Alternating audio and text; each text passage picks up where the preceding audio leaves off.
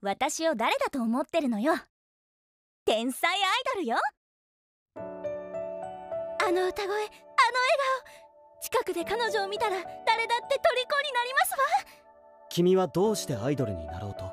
私が永瀬愛奈の妹だから。それで十分理由になりませんか？この胸が教えてくれるんです。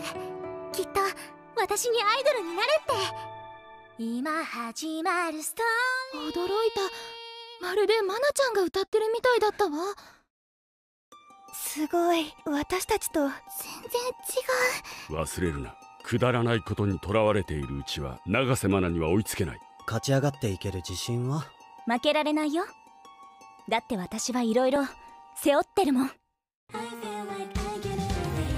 ィーナスプログラムの頂点に立つこと。それが私の目標です。